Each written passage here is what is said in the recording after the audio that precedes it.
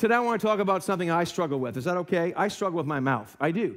And uh, today, we're going to talk about training our mouth, training our mouth for healthy relationships. And that's what it's all about. The health of our relationships is really based upon the health of our speech in those relationships. And uh, just to let you know, I, I don't stand up here uh, conquering it because you know what? I grew up in Long Island, New York, in the suburbs of New York City. I'm the third son. I have a brother that's seven years old named David, another brother named Glenn, and I was a little runt. And so I had a fight with my mouth. That's how I beat things. I, I could do a lot with my mouth. And I would manipulate, and if they touched me, I'd scream, Ow! Leave your brother alone! I'm like, Are you okay? Oh, I'm doing fine. You know, that's kind of how I did the thing growing up. And then as I got older, I, you know, you kind of say sly remarks or sarcastic in school. I was the guy in the back that would make all the jokes. And yeah, I was bad, okay? But I used my mouth. And unfortunately, I, I, I grew up that way. And even today, I struggle sometimes. Anyone knows me, we know that. We know that already. You don't need to tell us.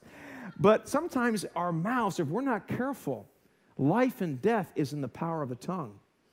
And we, we got to learn how to speak rightly. We'll talk about that today, how to train our mouths, because all of us struggle with it. In fact, if you look at Proverbs 18 20 to 22, it says this It says, A man's stomach shall be satisfied from the fruit of his or her mouth, from the produce of his lips, he shall be filled. Now, listen to this one Death and life are in the power of the tongue.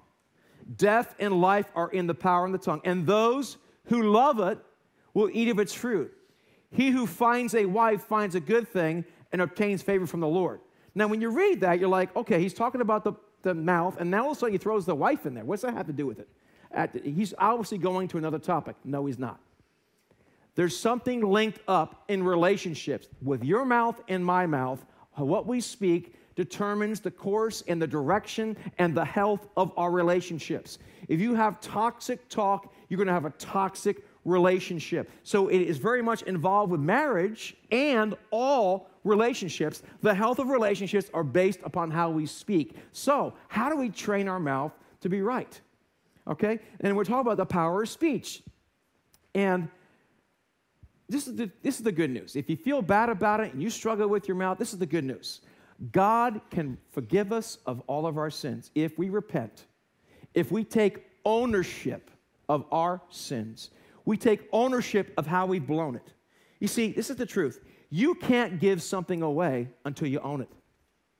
Legitimately, you cannot give something away legitimately unless you own it. And you own your sin. Say, God, it's me. I was wrong. I was wrong. If you say that, then God's good. Great. I've been waiting for you to take ownership. Now I'll take it from you and I remove the guilt from you.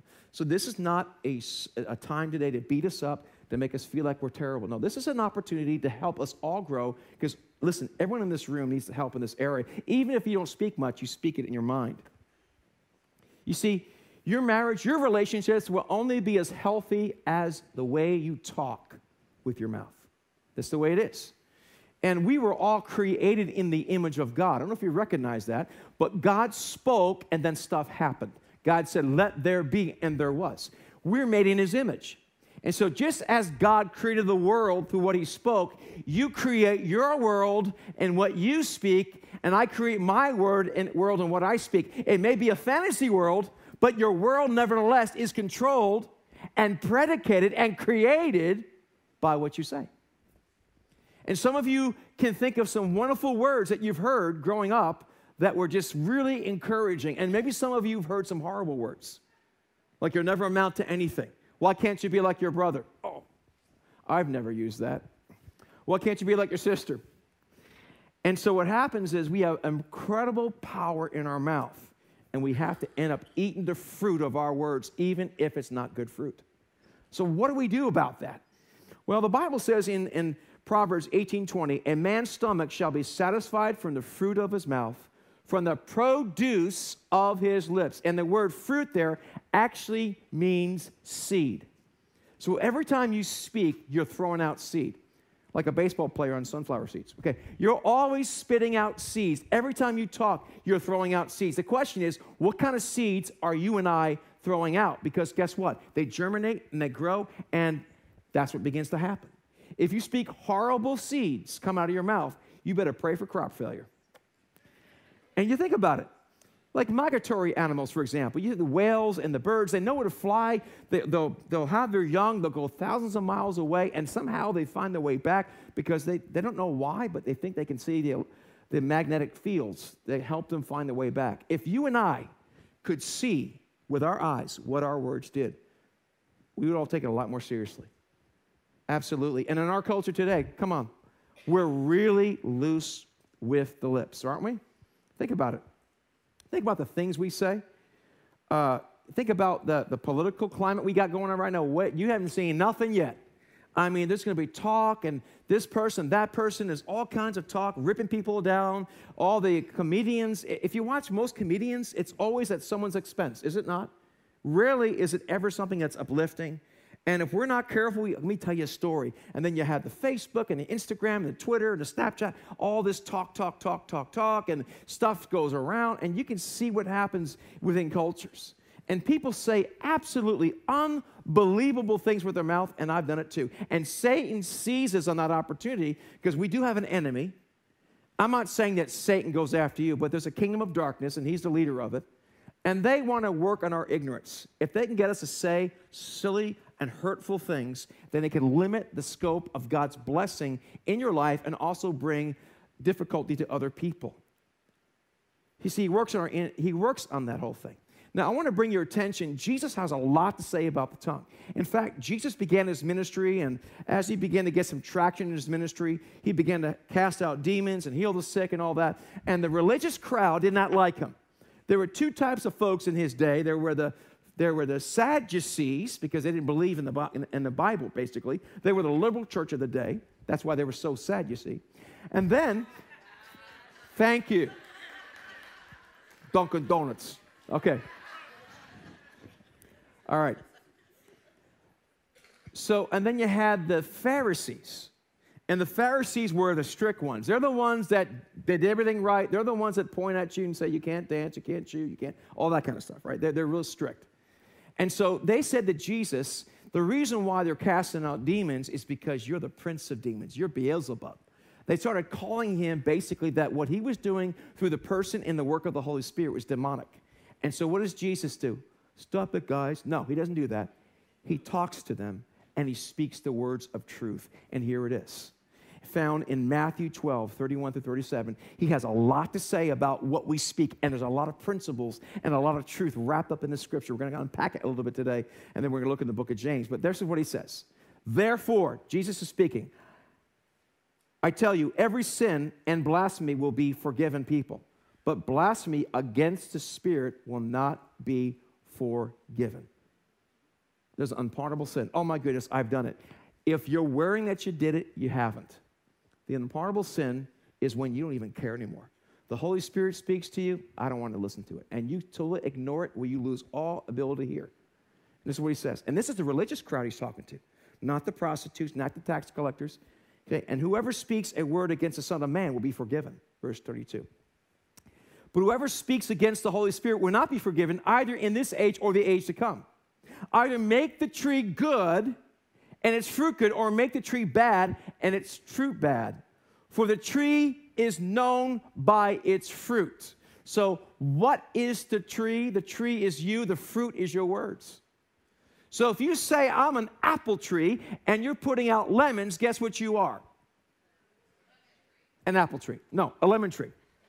But you can swear up and down, I am an apple tree. No, if stuff's coming out of you, that's what the tree you're coming of. And so this is what he says. This is look how Jesus how how nice he is to them. You brood of vipers. How can you listen? There's a time to speak the truth in love and power. There's a time. I'm not saying we have to walk around like Barney the dinosaur. I love you, you love me, and bounce around. No, Jesus was not that way. He spoke the truth in love. He says, You brood of vipers, how can you speak good when you're evil? For, listen to this one. Ugh. For out of the abundance of the heart, the mouth speaks. The good person out of the treasure brings forth good, and the evil person out of his evil treasure brings forth evil. I tell you, listen to this one. On the day of judgment, people will give an account for every careless word they speak. Uh oh.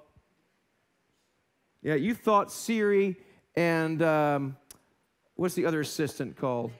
Alexa, who are copying everything down, the government's watching you. No, I'm just kidding. That's not happening. Although it might be happening, but think about it. In the natural, we can record every single conversation. They do, by the way, have software, and if you say some tag words, the alarms will go off and the authorities will be, so be careful what you say. Anyhow, but it's true. So if we can do it in the natural, think about what God, then I'm doomed. I'm doomed. What am I supposed to do? Every thoughtless word I've said, I said a lot of bad things. Well, how do we do that? Well, this is the good news. The good news is that what Jesus did is enough to forgive us of our sins. And so, if you and I will take ownership and say, I blew it, I was wrong. For those of you that understood what I just said, you're showing your age. I'm not going to mention the Fonz, but if you can actually say you're wrong, what happens is you take ownership, give it to God. His blood is enough to erase the tapes that Richard Nixon wished he had. But your neighbor may not re- may remember it. Your spouse may remember it. Your friends may remember it, but God doesn't remember it. And that's all that really matters. You don't have to walk around with that. So listen, this is not beat me up, walk out of here all wounded. No, this is an opportunity for us to change our lives the way we speak. You can always tell the condition of your heart by your words. If you want a heart checkup, I didn't mean that. I, I didn't really mean it. Yes, you did. You wouldn't have said it if you didn't mean it. We speak stuff out. Now, sometimes we're hurt and upset, and we say things we really don't want to say, but it shows there's something going on in your heart, in my heart, when we say hurtful things and say things, I can't stand you. I wish, why did I ever marry you? I want a divorce. I hate you. Why was I even born? You, you, guys, are, you guys are Hitlers. You know, all these things you say to your people. Your words speak about your heart. And uh, Jesus tells us we have to give an account for every word. If you're in the garage and you're trying to, or you're in the house and you're trying to put up curtain rods and you hit your finger with the hammer and you blah, blah, blah, blah, blah, blah, guess what? That's in your heart. God records every word that we say. And all words are crucial and have consequential. They have consequence in what happens. So, since our words have seeds, let's talk about how do we deal with it, okay? Here's the first thing we got to say. Jesus refers to our words as fruit. The second thing he says, he reveals that our worst sin is committed by our mouth. Think about that for a moment. That's the worst sin we do is by our mouth. That's the unpardonable sin. It's not done by any other way but our mouth. He also he also tells us that our words reveal our hearts, and he tells us we'll give an account for every single word that we say. Aren't you glad that Jesus paid for our sins and that we can go to him? Now, by the way, it isn't like this. Okay, Jesus, I'm going to I'm going to tell her off, I'm going to tell him off, and then I'm going to ask for forgiveness. That's not what we're talking about. That's called cheap, foolish grace. I'm talking about really taking ownership of what you've done. There are basically three laws of sowing and reaping. Okay, I know we don't live in a farming community today, but there's some things about this. And here's the first law, okay? You reap what you sow. What you sow by throwing the seed out is what you will reap. And a lot of us throw a lot of bad stuff out when we pray for crop failure. And Galatians 6, 7 through 8, says the following it says this Do not be deceived.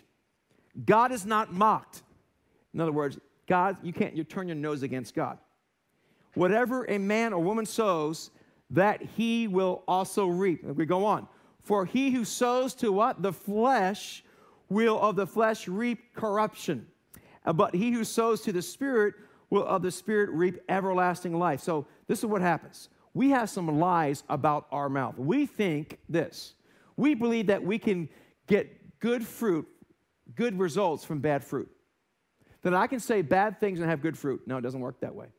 It does not work that way. Bad words, we don't get good results from bad words. And I've had people come and and I've done it myself, and I've had people come to the office and they're talking, they're having trouble in their marriage or trouble with their child, and maybe a, a, a, woman will come in or a man will come in and he'll curse his wife up, down, up one side and down the other. And they're saying stuff like, I'm like, we're in church, folks, will you mind? Blah, blah, blah, blah. And they say, he's a loser. And furthermore, and then Vice Burger, Vice Burger, Vice, I'm getting kind of hungry, I'm sorry. I want a burger. Let me, let me, let me uh, wet my palate here.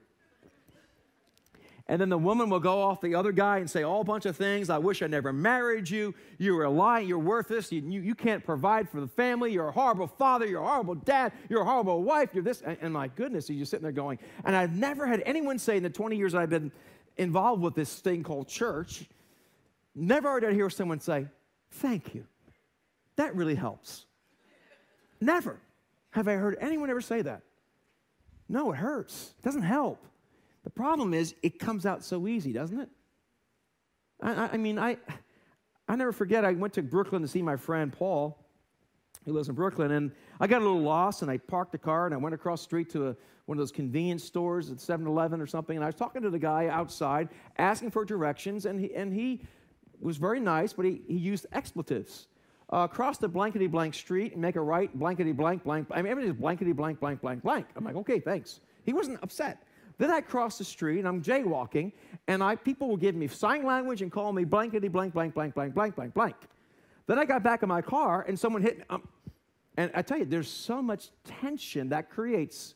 If you use expletive, if you start swearing and speaking like, you jerk, get out of my way, you start speaking that way, you know what you do? You rise the level of your blood pressure. You invite the demonic in your life. Yes, you do. The enemy loves that kind of stuff. It's like putting out garbage and having flies and laying eggs and having maggots. Do you want to live in an environment where you just are like the pig pen from Peanuts? You walk around, there's a cloud around you of negativity, of anger, of vitriol. Is that what you want? My friends, it does make a difference what we speak. Oh, that sucks. Ah, you start talking that way.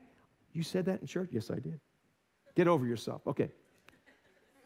The second lie is this if I, if I say something good, it won't change anything at all. If I, will say something nice about her or him, nothing's going to change. That's not true.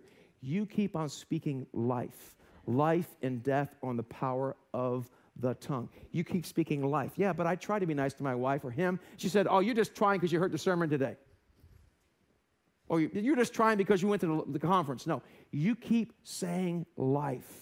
People are longing for life. If we would just stop trying to defend ourselves, if we would say, Lord, what are you doing in someone's life? God's looking for people to speak life and creation. And man, this is for you, okay? If you look at Ephesians chapter 5, verse 26 says this. It says, that he, this is Jesus, that he might sanctify her, having cleansed her by the washing of water with the word. Okay? So that this is a plastic surgeon scripture, so that he might present the church to himself in splendor without spot or wrinkle or any such thing. That was supposed to be funny. Boy, I'm really doing well today, honey. I got to give this up. That she might be holy without blemish. I'm dying up here. Okay. That's a good thing I'm dying up here. Thank you so much. I really appreciate that. I really appreciate that. But you know that Jesus washes us with his word? He does. He washes us with his word. And, and, and guys, come on, in our marriages, you want to present, you want to change your wife and present her beautiful. How are we talking about our wives? And I've been guilty of it too. Speak the truth in love. It's hard. I understand that. And so, you know, and this is the truth women, generally speaking, of course, women speak three times as much as men. Men talk to communicate and to give information. Women talk to connect, to know what you feel. Right? How was your day at the office? Fine. What happened? It was good. How was the movie? Fine. Did the Yankees win? Yeah, it was a good game. What happened? We went to the game. If I talked to Sandra, I went to Costco today. I had six samples. I ran into a woman named Terry. Anyhow, and she'll go on. I ran into this person. I ran into Cynthia. I mean, the whole church goes to Costco. I don't know if you realize this, but if you don't go to church, go to Costco. Everyone in the church goes to Costco because you like the samples. But I got bad news. They're not doing samples because of the coronavirus. So don't go to Costco. So, but she'll tell me what happened to this person, and then this person had this person, and then this person said this person, and then you have a sleepover with girls in your house. All I hear downstairs from my, my son, Stop! You know, they're, they're playing these games. It's all you hear. Stop! He killed me. You know, the girls are there.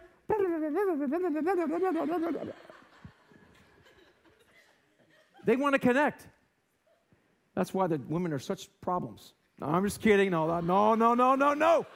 No, no, I didn't say that. Yes, I did. I take it back. You can't. You said it. Okay. Women are wonderful. They, they make women, you can have a house, but a woman makes a home, generally speaking. Yeah, that's right. Amen. You know what it says in 2nd Hezekiah 3:18, don't you? Man may be the head, but the woman's the neck that turns the head. There's no such thing as second Hez. Okay.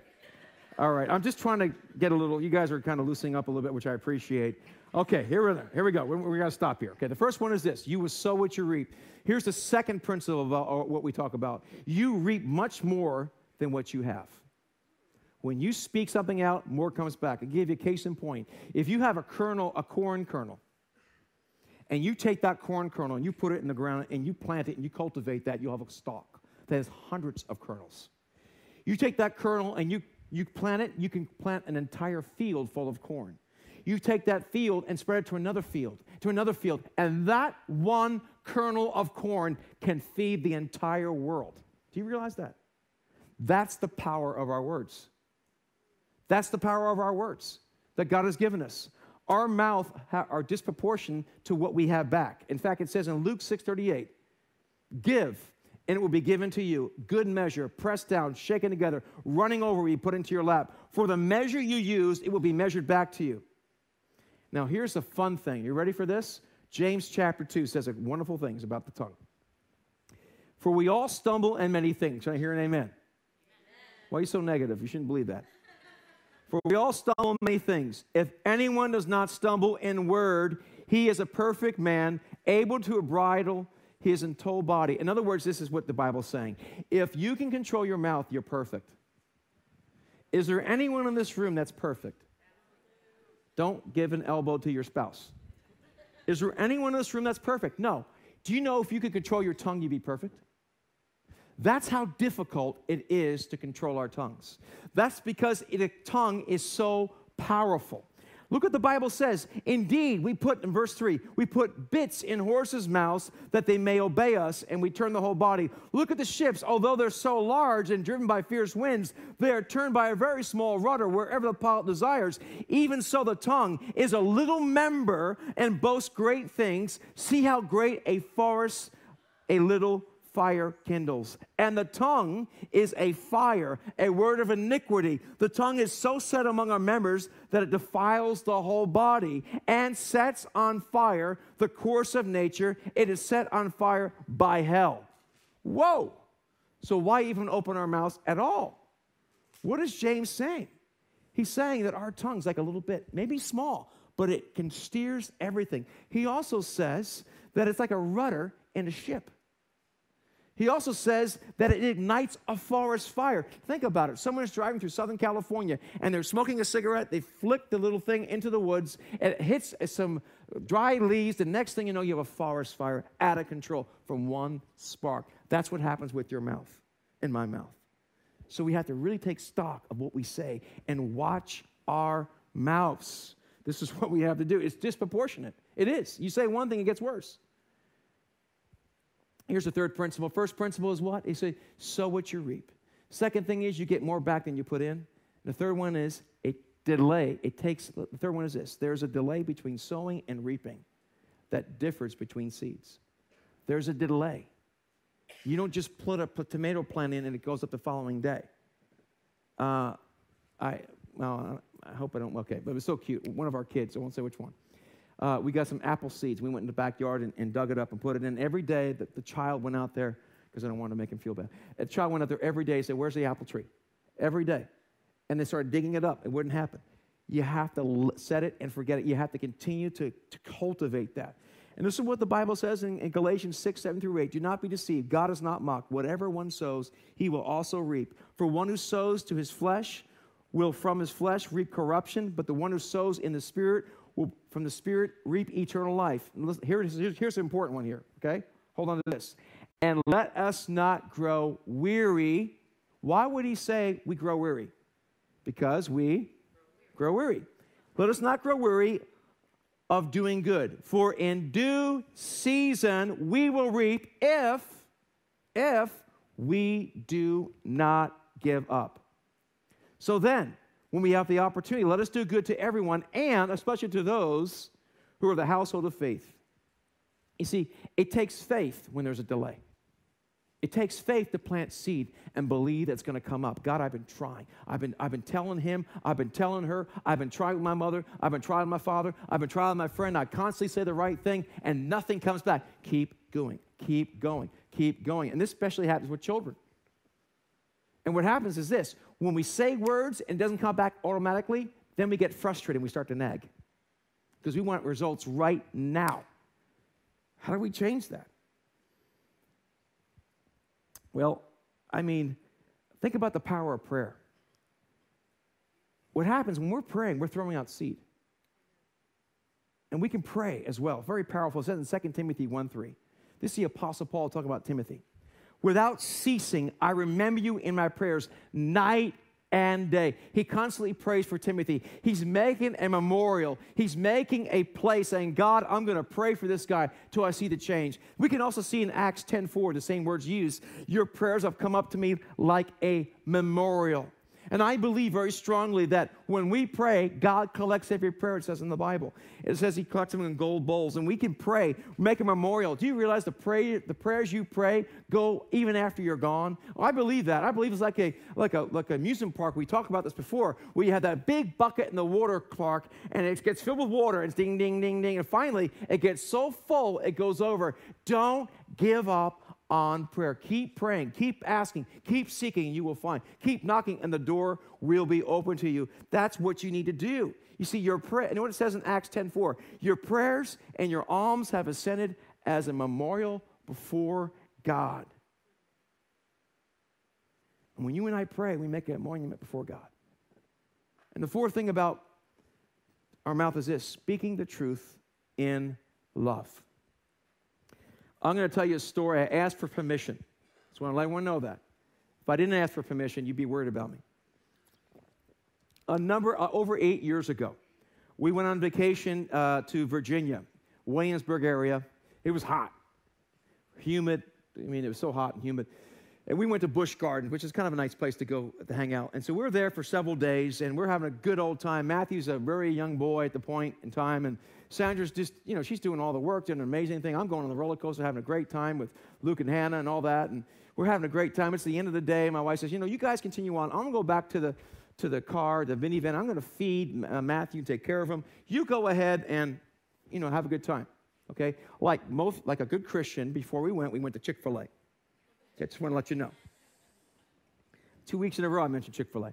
And I had a big lemonade, big, big lemonade with a straw. And I drank the whole thing, okay?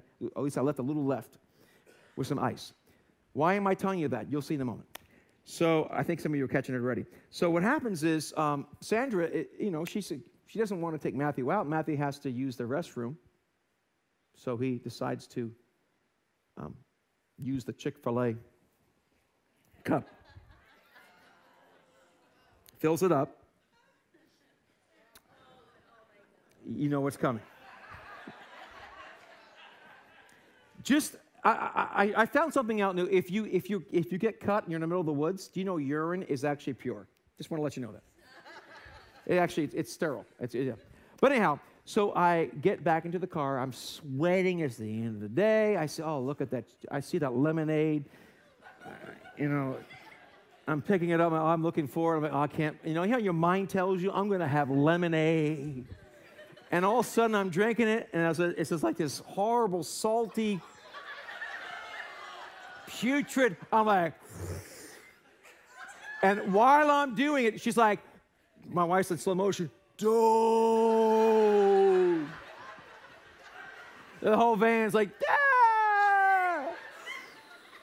So I drank it, and I'm like, I'm like, praise God. I put it in. I said, you know what? I really appreciate you, honey, coming back to the van, taking care of Matthew. I really appreciate the fact that you know, you didn't want to bring him outside. You know, there's the, probably the coronavirus in the bathrooms. I like the fact that you, you know, you used the Chick-fil-A cup. that was ingenious of you. And I, you know what? I, I understand that. And Matthew, I love you so much that drinking your urine's a privilege. so I said that. We prayed together. We sang, we sang How Great Is Our God and went back to the hotel. That's not what happened.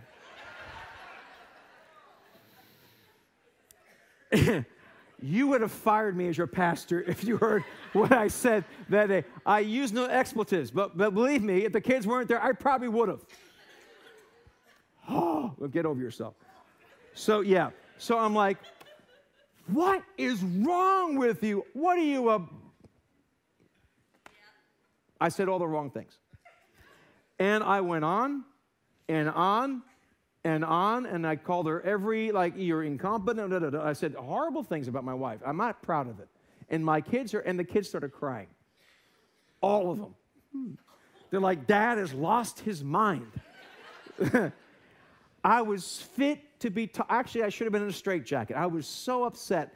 And then we drove back to the, the condo we were renting, and I was, I actually had to leave the house. That's how upset I was. And then the Lord's like, What are you doing? And then what happens is you say bad things and then you add damage. To, so it was really bad. So finally, I had to go back and I had to apologize to the children, had to apologize to my wife. I had to say, listen, what I said was completely wrong. I'm glad you're enjoying it at my expense, everybody. But that's, I mean, that's an opportunity where you just have an opportunity to have self control.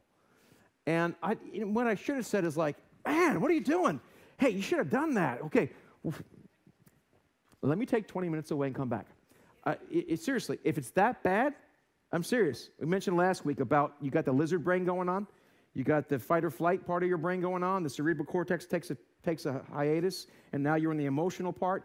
Best thing to do is, you know what, I'm really upset right now. I'm, I need about 20 minutes and go away and collect your thoughts. Do not stay in the van, do not stay in the room. Go quickly, run, or you'll say something. You'll, and you know what the problem is? I forget what I said. But the kids, the kids still remember.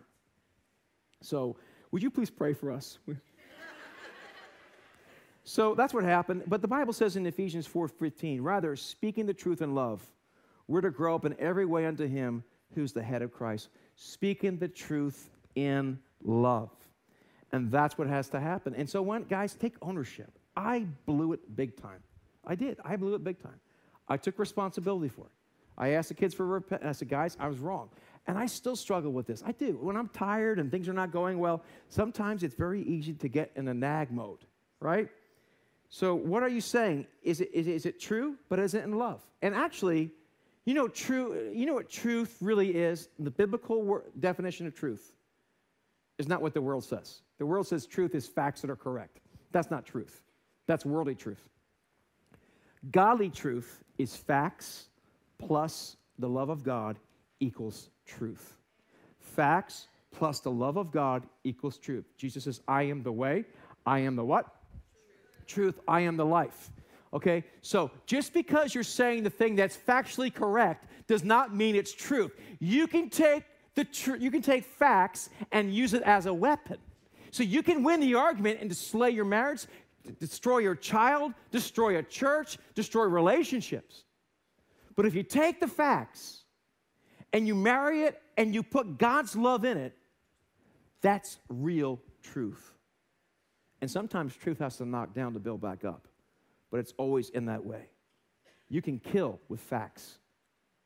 And so, you know, I read about restoration. There's a fire in a museum, and they have a priceless painting, and they're trying to restore that painting. You know what they do? They, they, they put it in a special room, they clean it the best they can, and you know what they do? They take a little cotton Q tip, something like it, and they take a little cleaning and they just a little bit go around the painting, take away the smoke stains and the smudge. And they do this in order to protect the original painting. I'm so glad God has been patient with me. God, many times, says, man, he's got a long way to go but let's go ahead and take a little off here. And he constantly is patient with me because he sees who I'll be and he sees who you will be. Why don't we give each other some grace? You're not God. I make a lousy God, and so do you. Why not say the truth and let God work in the person? You don't need to nag someone to death. Nagging never works. It's like a dictatorship. They'll do what you say when you nag, but once you leave, they'll go back to say, So just let God change you little bit by little bit. And that's how you restore a painting. And that's how you restore your life. You see the truth and love, washing with the word, washing with the word of truth. And this is the truth. We create our world with our words. We reap what we sow. We reap more than you will sow. And there's a time delay between what you say and what you receive. And most of all, speak facts with the love of God and let the truth set your relationships free and you free. Listen, everybody, I, I stand up here not mastering this at all. And uh, I thank God for His grace. I thank God that He is helping me along this process. But I, I pray, I think all of us have room to grow in this area, do we not? Absolutely, we do. And do not let the culture around us shape us. If we're watching, uh, this is between you and me, between you, between you and God, excuse me. But if you're watching shows where they're just lambasting each other with swear words, and they're t- speaking, and you're watching political programs where they're just throwing vitriol, why do I want to be around that kind of nonsense? Because you know what? It will get on you. And you'll start repeating what you're saying. So wash our mouths. Let the Lord touch our mouths and change our lives. Amen? Let's bow our heads and let's pray. Father, I just want to thank you so much that you're a good God. I want to thank you, God. You don't give us what we deserve, but you give us something called mercy and you give us grace. And Lord, I thank you for being so patient with me. Lord, all of us, you've been so patient with us, God. Lord, if we treated each other like you treated us, we'd be so much better. Father, thank you for being patient with us. Thank you for loving us. God, all of us in this room and those that are watching, we've all been guilty of speaking death. Lord, we submit our tongues to you today, recognizing that we've said hurtful things, we've done hurtful things. Lord, we've spoken death. Father, we want to give you our tongue. Lord, instead, we want to wash each other with the word. We want to speak words of life, words of truth in Jesus' name. I want to just, as the worship team comes up, I have one more story to tell you that Jimmy Evans talks about in his excellent book called Marriage on the Rock. He talks about this, and this is a closing thing to think about. There was this couple that was infertile. They could not have children. They tried and tried and tried and tried. They had fertility tests. Everything should be working, but they could not for years, three or four years. So they finally go to the pastor's office, ask the doctor said, go see your pastor, because I don't know what's going on. And he asked the question, what's going on? What's going on? Through investigative asking her questions, she began to break down and cry. She said, when I was a teenage girl, about 16, I was promiscuous. I got involved with some boys sexually. And she says, my, my mother was so upset with me. She says, the way you're acting, you'll never have kids. And she said she's always felt shame from that. And she realized that cut her to the core. And pastor said, listen, we need to get rid of this. Number one, your mother's a great woman, but she had a moment of weakness and she probably didn't mean what she said. She says, well, you need to forgive your mother. And that's not true. You're clean by, you're cleansed by Jesus Christ. His blood is enough to take away your sins, your failures, and you can be seen as new and clean and pure. And she cried, she, and they, they prayed for each other. You know what happened? They had four or five kids afterwards. So that's the power of the cross of Jesus Christ. My question is where are you with God today? Have you let the blood of Christ wash you of your sins? Because all of us blow it. No one here is even close to being right with God. It's only by what Christ has done. No one in the world is good enough. Only one. And that's the person who came 2,000 years ago, stood in your place, and broke history in two and stands right now. He is the conduit, He is the pathway. There's no way to God except through Jesus Christ. Every world religion has to go to the feet of Jesus or they cannot come to God. He's the only way, He's the only truth, He is the only life. There's only one way to the Father, is through Jesus Christ. My question is have you gone through Jesus Christ? I'm not going through good works, not going through trying to come to church and pray. You know, this is all great. This supports the main thing, but without having a relationship with God, this is very futile. Have you given your life to Christ? I'm going to ask you to bow your head, close your eyes. If you want to give your life to Christ for the very first time, Or maybe you walk with God for a period of time, you walked away. Today is the day of salvation. Do not delay, do not wait because your heart is saying yes. Jump on it now because you may not care later on. If you've never surrendered your life to Jesus, today's the day. Maybe you used to walk with God and you walked away. I'm going to ask you, I'm going to ask you to meet my eyes. I'm going to look around the room. You raise your hand and say, Pastor, I want to give my life to Christ for the very first time, or I want to renew my commitment because I've fallen away. Come on, let's be real. Anyone this morning? Keep your hands. Thank you. Anyone else? As I look around, thank you. Anybody else this morning? Okay, let's let's go ahead and pray. Anyone I'm watching online, say this with your heart. It's not. It's your heart connected to Christ. Lord Jesus, I ask you to forgive me of all of my sins, both known and unknown. I choose to receive your forgiveness. I believe you died on the cross and paid for my sins. I believe you rose again from the dead. I ask you right now to forgive me of everything I've ever done wrong, both known and unknown. And I choose to turn away from what I know is wrong. Today, I step away. I step down from being in charge of my life. This is not my life, it's your life. You're number one. You are my God, and I am not. Fill me now with your presence and help me on this path in Jesus' name. Amen. If you that,